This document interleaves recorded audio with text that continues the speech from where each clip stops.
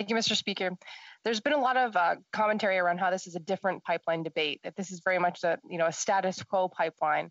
Um, and the member referenced you know the origins of Line Five being built in, in, in 1953. And I think of, of, of eroding infrastructure like Line Five throughout the USA and Canada.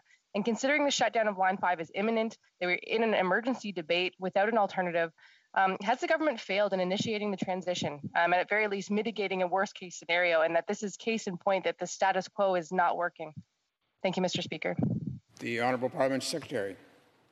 Thank you to my honourable colleague. I think we are all in agreement that we need to make a tra- transition, but I don't think that that transition is going to happen tomorrow. There are many Canadians that rely on the good jobs and the income that come from from from from the oil that's delivered in the pipeline and and, and other uh, liquids that are developed de- delivered on the pipeline.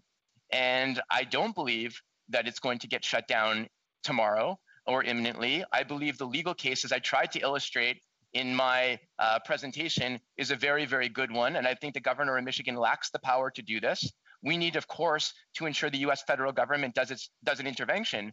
But the courts in the United States that I trust will make sure that an illegal action, such as trying to end an easement illegally, will not be allowed to, to happen.